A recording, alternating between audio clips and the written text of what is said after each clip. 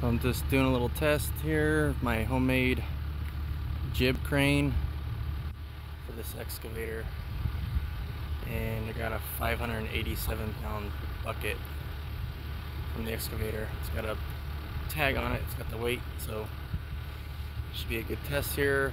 Um, also got a snatch block just to keep the amps down on the motor, to make it a little bit easier. I got this remote control here, little Harbor Freight 2,500 pound winch. And just testing it out, make sure everything works good. So,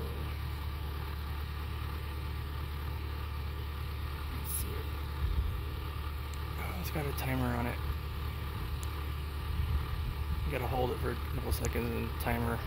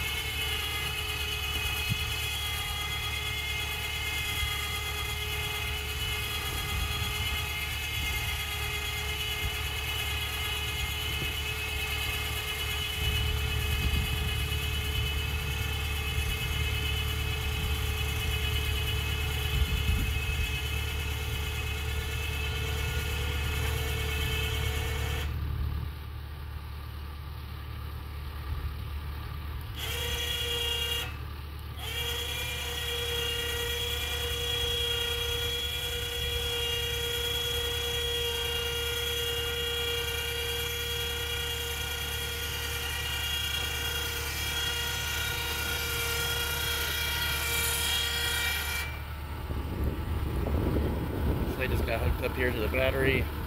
Just running some cables. I'll put some zip ties just when I'm using it. And just used a, a breaker mounting plate and a half inch steel plate with some three and a half inch steel pipe. That's the outside diameter and an angle brace right there some angle iron quarter inch thick. And just mounted a little motor and the relay up there next to the motor